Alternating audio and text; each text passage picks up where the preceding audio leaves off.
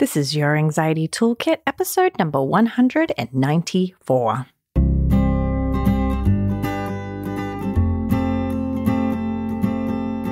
Welcome to Your Anxiety Toolkit.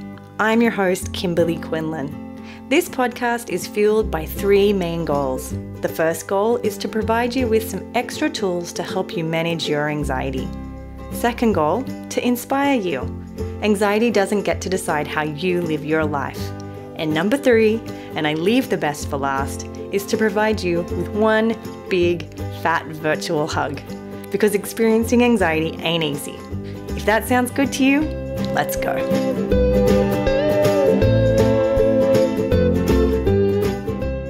Okay, you guys, this, oh my gosh, I, when I have a guest on, I know I always say this is like my favorite episode, and that's because I am just I do every single time. It's like my most favorite thing. And so, number one, thank you for giving me space to have and share these wonderful moments with you and these wonderful conversations. In today's episode, I had the most amazing conversation with Hayden Dawes. Now, Hayden Dawes is a, a therapist, a PhD student. He is what he calls an aspiring compassion warrior. And we share and we talk about in the interview what that means. Hayden is just doing some really cool work. And I and as I share and we go into detail in this episode, he's really brought up some stuff for me as I've watched him and learned from him. And it's been incredible to see this journey that it's, you know, put me on. So I cannot wait to share this episode with you. We're talking about radical permission, writing compassion slips for ourselves. We're talking about being petty, and it'll make sense when we get there. It's just such a beautiful conversation. So I'm so happy to share this with you. I'm going to get right to the episode now. For those of you who are new, welcome. And if you haven't already, please do go and leave a review. The reviews help us reach more people and gain the trust of more people. And so go ahead and leave a review wherever you listen. And let's get on to the show. Okay, well, welcome. I'm actually so excited to have this conversation. This was a really, really great one for me because I have with me Hayden Dawes. He is an aspiring compassion warrior, which I can't wait to hear more about what that means a PhD student. He is a social worker and has been practicing for many years. So thank you so much for coming on, Hayden. I am so excited to be here to see your, no one else can see us, but to see your smile, just to see little old me, that just makes me even feel more welcome and more excited to be here. So thank you. yeah, I am. I'm really excited. So, so let me fangirl on you for a second. Is so for those who don't know, and, and you'll hear all about Hayden's work, is Hayden has this really cool Instagram profile and I love the work you're doing with compassion. But we're also going to share a, a couple other things that I love about your work. And we'll talk about that here very soon. But tell me about the work you're doing around like an aspiring compassion warrior. Tell me what that means and how you are putting that out into the world. Yeah. So, one of the things as someone that was I was raised, you know, in the Catholic Church and Roman Catholic and I've sort of looked for different faith traditions, things that kind of felt close to me and really fit my experience. And so stumbling upon sort of Buddhism and more contemplative practices like Quakerism and Buddhism, and finding the idea of a bodhisattva, someone that is willing to just do the tough work of delving deeply into what it means to be human, the suffering piece to it, and learning from that experience and then trying to help others along the way as as we're all on this kind of human journey. So I said, you know, bodhisattva is kind of a mouthful. Um, why don't I call myself a compassion warrior? And part of that is delving deeply into my own stuff and my own pains and challenges so that I can learn more about myself and be compassionate with that and I can be compassionate with other people. Yeah. You're aspiring. I actually think you're a warrior. I don't think you're aspiring. You could Abs- drop the aspiring. no, you think I should? You know, sometimes it's interesting. Sometimes I do, and sometimes I don't. It's like I think part of the journey is like, am I really aligned with that completely? And what does the aspiring mean? And sometimes taking it out of like, let me hold closer to this idea that this is what I am. So I think that's in flux too, but I appreciate that. Yeah, yeah, of course, of course. Okay. So, we talk a lot about compassion here on the show, but I love there's a little twist that you bring into it. So, I'd love if you could share. You're often talking about the permission slip. Can you share with everyone, for those who don't know what that means, can you kind of give me a, a little rundown of what that is? Yeah. So, back in 2018, I had a friend of mine share on Instagram a haiku a day for 100 days. And I thought, you know, I'm not counting out all of those syllables. but what I can do is, you know, kind of following up on the work of Brene Brown, I was like, you know, I can write a permission slip to myself a day. I can slow down and kind of center myself and think, if I think about the whole day that I'm going to have, what is it that I most need? What is the thing that I might need to give to myself? And I also know from my clinical practice, and I'm sure you can relate to this, people will come in and they'll say, you know, I'm thinking about doing this or I'm thinking about doing that. And like, sweetie, let's slow down. you probably know exactly what you need to do. Well, I do. I'm like, yeah, you're looking for me to give you permission to do that.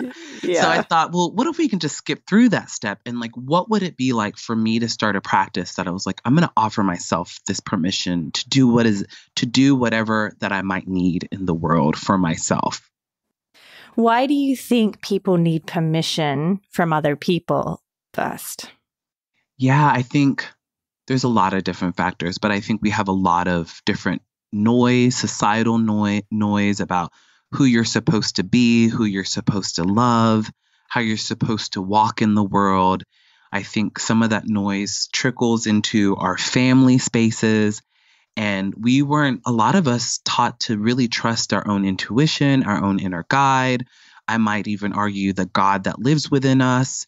So we end up kind of delegating that task to someone else because we've been practiced in that rather than really slowing down and listening and honoring the wisdom that dwells, I believe, in each and every one of us. Mm, okay. So I love this.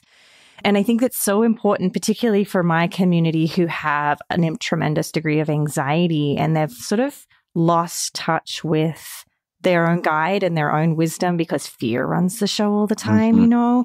Yeah. Um, and I think that's true for anybody who has fear, but especially the folks who have like an anxiety disorder.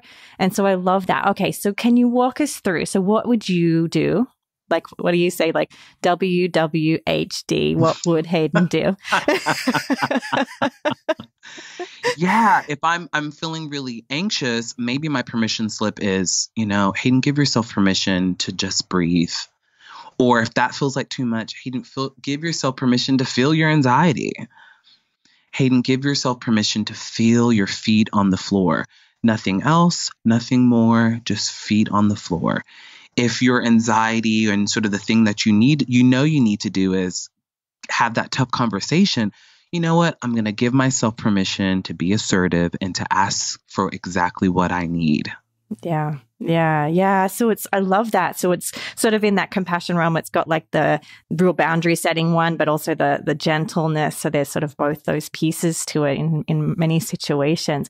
Is it something that I I know on I think Twitter you post on social on Instagram you post these. Are these ones that you're writing because you really needed to hear it yourself? Like today i you know or is it that you had a session with someone and you kind of wanted to put that out for other people? Like how do you do it? Yeah what a great question. You know honestly all of my permission slips that i've written are generally for myself. And i i, I want to think that is what connects with people. They know i'm not a phony. They know i'm not trying to you know sell them some program that i'm not trying to work myself. I've not scheduled any of my posts really thus far when it comes to my permission slips.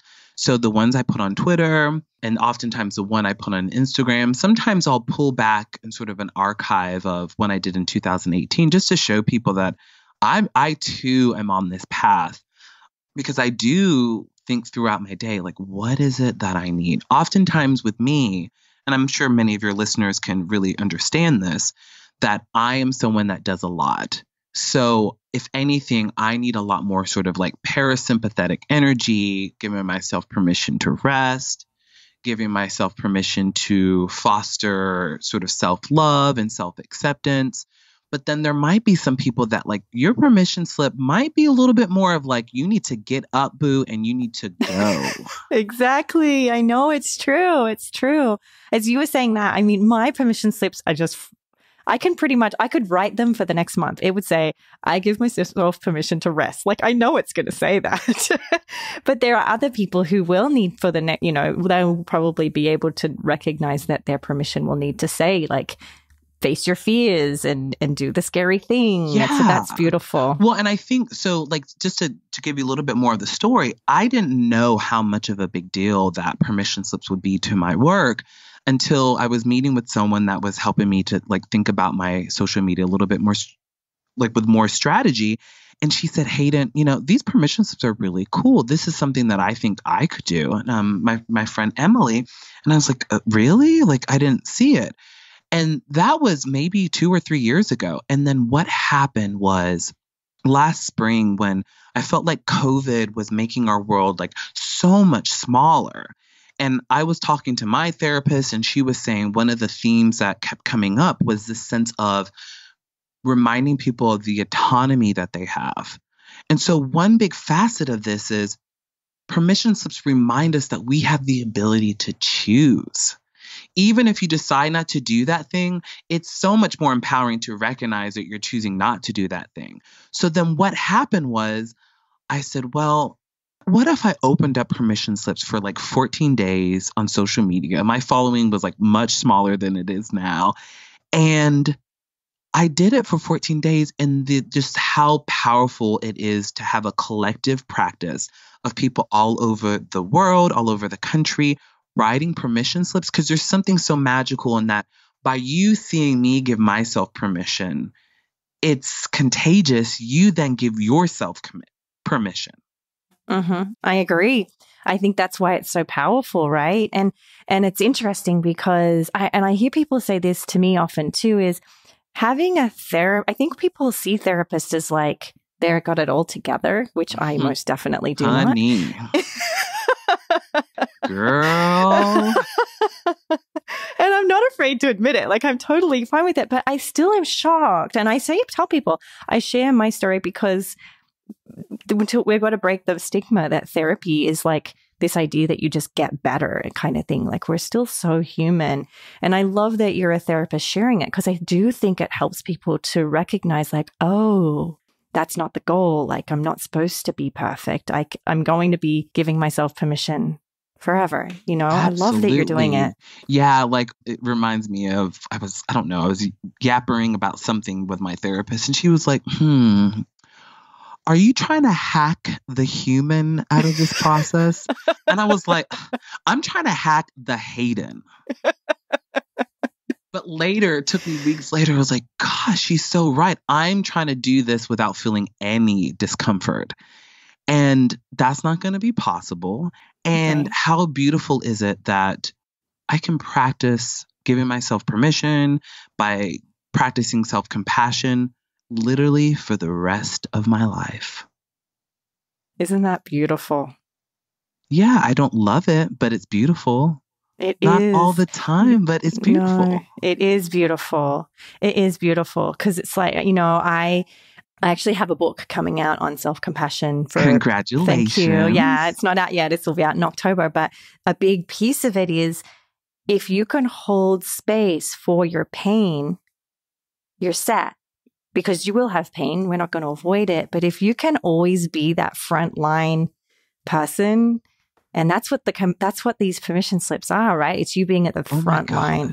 Well, and I love what you're saying. Now you're making me think. If you hold space for your pain, you you hold space for everyone else's. Mm-hmm, mm-hmm. I mean, it is, and I think so much of the inner work really brings out an outward change. You feel so much more connected to the people in your life. Your maybe it's your children your partner you know it's your boss and then you see the world just so much differently and you see yourself differently and you stop looking at other people thinking like you said like they have it all together and they li- live these beautiful you know airbrushed social media lives and it's like oh we're all kind of trying to be a part of this world and figure it out. Right. And no one is ever done. No. If they tell you you're done, got news for you. They're lying. well, they're completely in denial. right. right. It's so true. It's so true. So I think I love that you're giving this very simple but impactful tool. Right. So thank you. It's so cool. It's so, so cool. I have one more question about that before we move on to the other piece of the work, which is do you actually write them out or do you just, I mean, you do because of your doing it on social media, but I know with Brene Brown, she has had, you know, you can actually write the permission slip like it was like you're getting a permission slip to leave school early from your parents. Do you write them or do you, are you now at a place where you can just stop and think it through? What has been your progression with this? Good question. No one's ever asked me that. I think so. For me, I generally write them. And I think that has been a good practice for me to slow down and stop. But um, I had a conversation with a friend who has been writing his permission slips, and he said that he's noticing that he'll fall into giving himself permission. And then later he can say, Oh, wow, I just allowed myself to do that. Mm, and I new habit. Absolutely. Yeah. And, you know, I'll really have to sit back and reflect on that to think about when are there times that I'm just allowing something to happen that I generally wouldn't have allowed to happen before in the past? Right, right.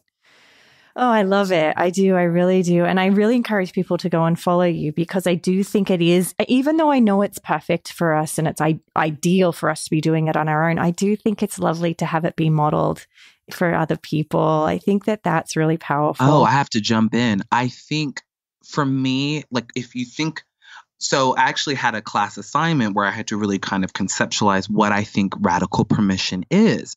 And honestly, I think there's three levels to it. It's nested within a community. And then the community has like an instructional leader. I think of myself as that leader, as someone that is modeling both how to do a permission slip and also modeling how to support others with their permission slips. Yep, yep. And then the final component of that is the self practice. Right. Right. But one, these can't exist without the other. If Oh, not, to me, I don't goosebumps. think it's radical permission. right. It's just not. It's not. We don't exist in containers. And, you know, I think a lot of some of the more Western mental health practices, especially in the last 30 years, are so individually focused. Mhm, mhm. Yeah. I know I've got goosebumps listening to you say that because it is so true, isn't it? This is a community endeavor. And I think that's one of the elements of what makes it radical. Mm-hmm. Mm-hmm. Yeah, I agree. And yet, one of these components can't exist without the other. Right. It's the unlearning, isn't it? Right. So, I, as a child, if you're in an environment that doesn't support this kind of work, if you're in a, then an environment where there are people, it is the unlearning of of that. You know that you know it's so yeah, important. it's so, and the unlearning, I'm just want to validate for people out there, is so exposing, feels so vulnerable, so raw. right. When you rec- when you feel like when you push someone trying to help you experience your own power and your own sense of autonomy over your body, your thoughts, and your ideas, and then your behaviors from that. Right. Whoa. Yeah. Yeah, it is. It is. I, it's funny. I love when I have these um, teen clients and we're talking about a concept and I can see them like shaking their head and they're, and they're just, they're like, nope, nope, nope, not going there with you. Nope, no, thank you. That's, or they'll roll their eyes or something. And then upon second and third conversation, there's a, there's a body shift for them. I'm like, really? I could do that? Really? Interesting, right? And I, and I, there's a total body shift. Mhm. Um, and I think, you, you- I mean, I'm just so grateful you're doing this for people, you know, all over the world. So it's very, very cool. Thank you. Yeah. Yeah. Oh my gosh. Okay. So this is like, I, mean, I'm so geeked out right now because I love compassion, but this is, I just really cannot wait to talk to you about this. I'm You're so gonna hear curious. me fumbling around this. No. I just want to put that on the table. Well, I'm gonna fumble too because I really I don't I just let's just fumble together, right? Yes, I, I follow uh, Lisa Renee Taylor, and she always says "stumble bravely," right? So she's saying, you know, it's just, and so I'm like, yes, let's stumble bravely, right?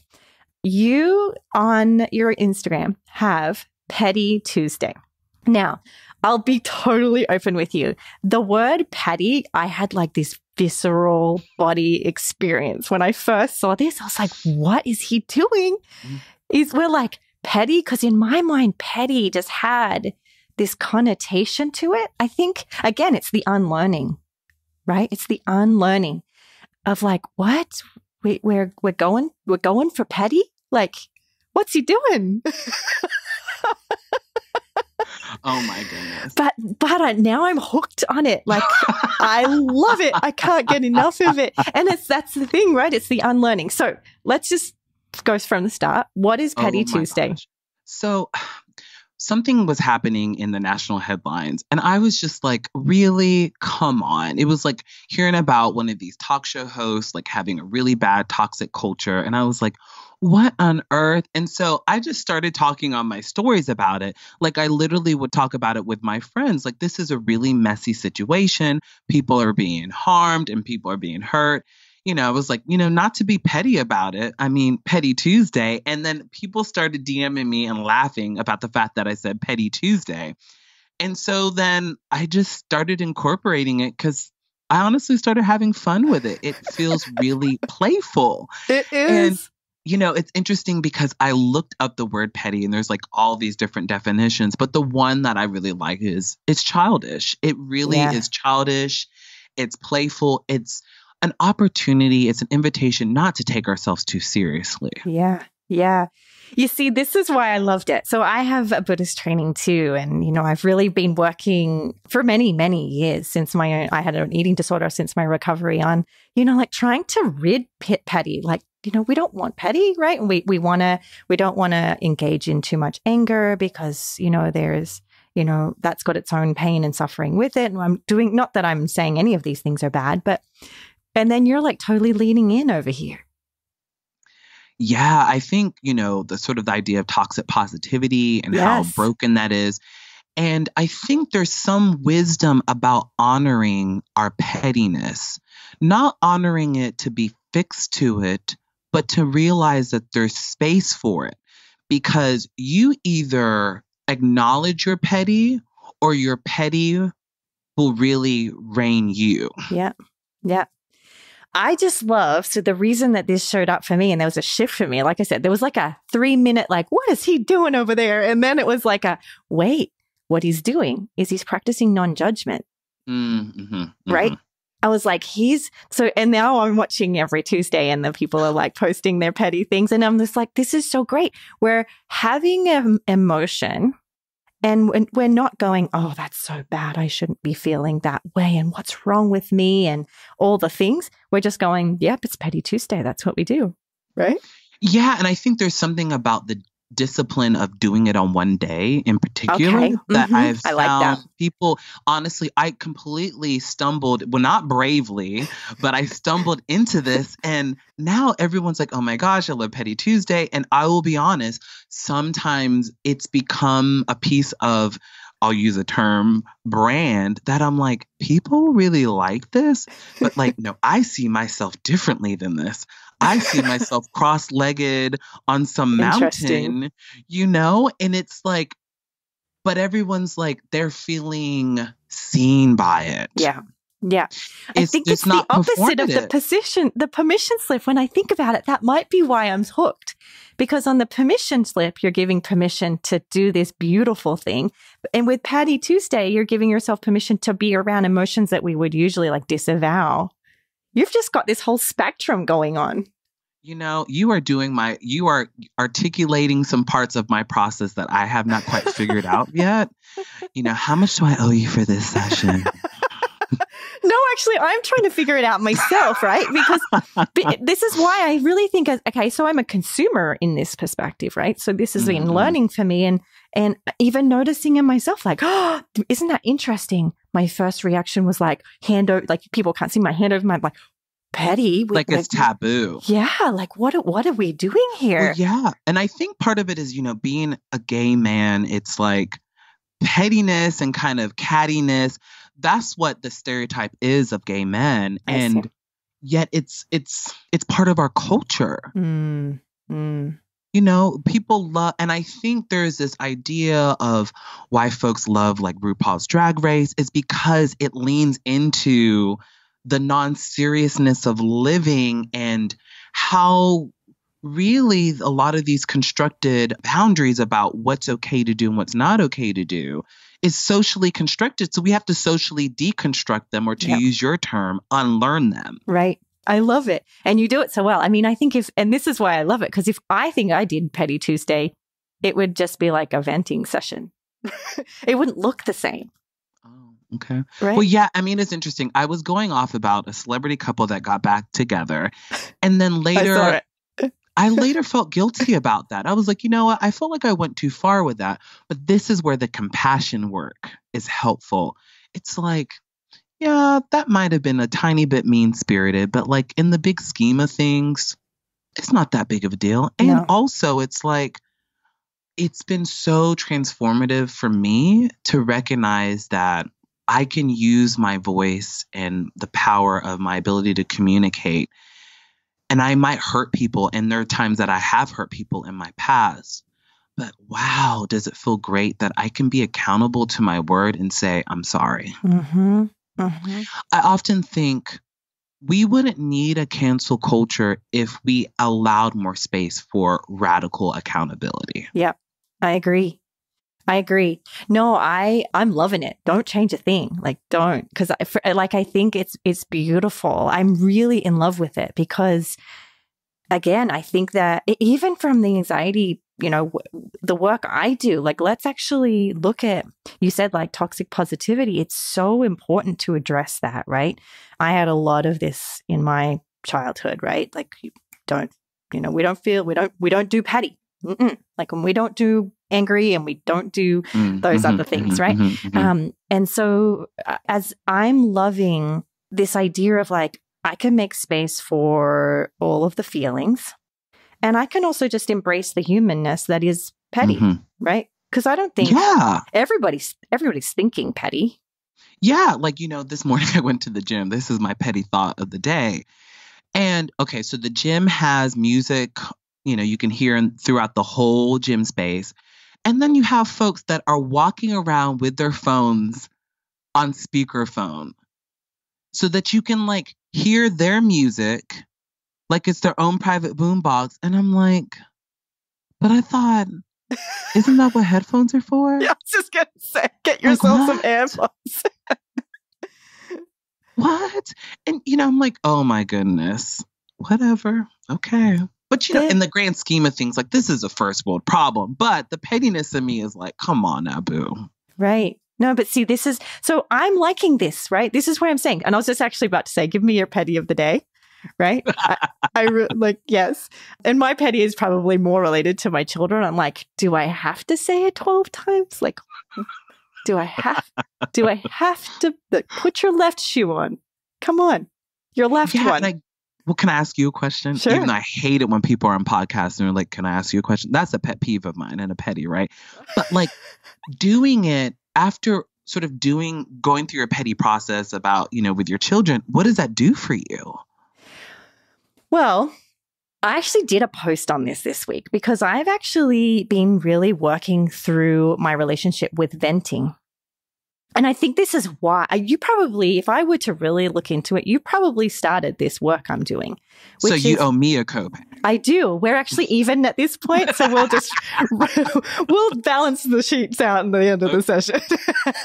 but I think I think that it probably was, if I really think it was probably spurred by this, is to start to reflect on when I open up space for this, like I don't want to call it negative emotion because it's not, but just for emotions that bring up some suffering for me, right?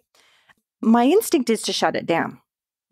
And I think what that means is it shuts down, it shuts down, it shuts down until I get to the point where I need to vent. And by that point, the boiler has gone and it's coming out, right? And so I've been working at, at better instead holding space for the petty, right? So I don't have to vent. Like I don't want it to get to that mm-hmm. place. Not that there's anything wrong with venting either, Well, right? no, I love what you just said. Right. And I'm I'm really going to slow down and hear that because I think what it brings up for me is you know a lot of our somatic practitioners will tell us that like we need the energy to keep moving. Really pettiness is just another form of energy. It's not good or bad. It's just another form of energy. right.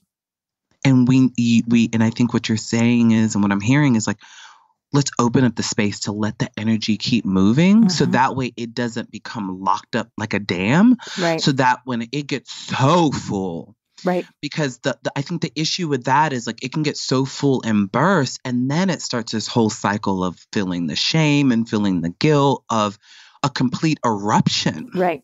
Exactly. Exactly. So if I like step into my petty, it doesn't feel good because of the learned judgment on that. Mm, yes, but yes, but yes, it's me learn I've I'm learning that if I can stay with the feeling of that, it doesn't feel good, but it also feels good. It will save me from the really not feeling good when I go into like vent mode.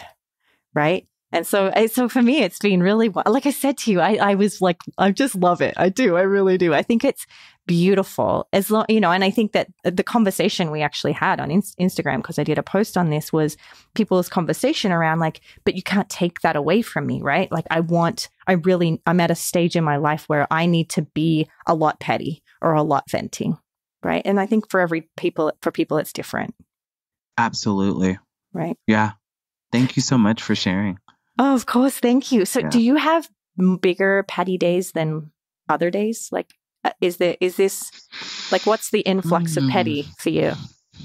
I don't think of myself as a petty person. It's interesting that I have a, an experience. I think being sort of a an immigrant and being a military child and kind of accepting life as it is, a lot of acceptance energy of things that other people might complain about is part of my story. So I think there are days where I may have to lean in my petty and sort of get a little bit more I get but that's anger, which feels a little bit different for me.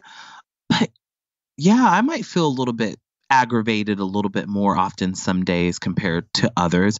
It's not something that I necessarily have probably the most tuned into. So you're offering me an invitation to to think about that a little bit more and to contemplate on it. I love it. I love it. Okay, so is there anything that you feel like we've missed here? Like, you know, we're stumbling bravely. So, what what do you feel like? There's something about Petty Tuesday, the concept of being petty for people that they may want to sort of consider as they move into embracing this. I think the thing that's really important to know is that it's vulnerable. Even being petty is vulnerable and, and allow your pettiness, allowing yourself to come out to your own inner pettiness because you're unlearning something and you're trying something else on that you've never tried before. And so it's going to feel scary. And I think, especially when you're riding the wave of a new emotion, you don't know what's going to come out. You don't know who's going to come out on the other side of it. And so I really want to validate and normalize all of that. And I do think there needs to be some safeguards on the other side. Like there's a difference for me between pettiness and mean spiritedness and complete like toxic negativity Okay, it's helpful to for hear. me. Yeah, yeah. And how do you differentiate that? Pettiness has a playfulness for Okay. me. Yeah, And I think the playfulness, again, not taking myself too seriously. You know, when you think about children playing and you think of yourself playing, like it's a wide, for me, it's a wide open field of discovery. And mean spiritedness, the energy just feels like a dark cloud or like there's a monster. And it's like, ooh, I don't really like that energy. I'm not judging it. I'm just saying I don't really want more of it. right.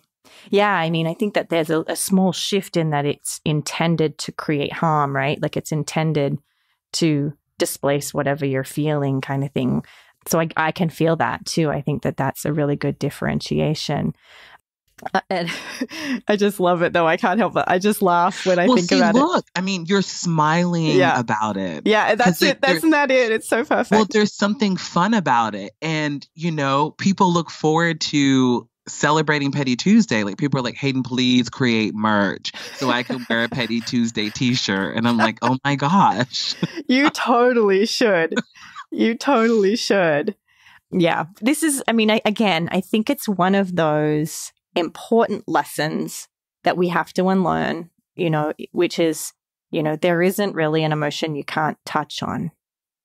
Maybe that for those who are new to this, their permission slip could be I'm going to allow myself to feel some petty. hmm I love it. Play with that. Absolutely. I think so much of unlearning and learning something new is play, Yeah. giving yourself space to try it out, Right. commit to it and try it out. Right. Yeah, permission slip to be petty or to be aggravated. I mean, one of the permission slips, and this is a different emotion that has completely changed my life, was right after the murder of George Floyd, Ahmaud Arbery, Breonna Taylor. I wrote a permission slips to myself to channel my anger to rehumanize my myself in the midst of dehumanization. And I did not recognize the connection, but after that, I wrote this piece that went viral in the therapist community called An Invitation to White Therapists. Mm.